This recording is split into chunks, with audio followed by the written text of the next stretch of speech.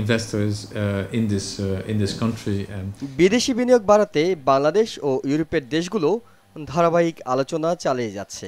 যদি সৎভাবে মতামত দিই তবে বলতে হবে সরকার আন্তরিক। তবে মূল চ্যালেঞ্জ দুর্নীতি ও প্রতারণা।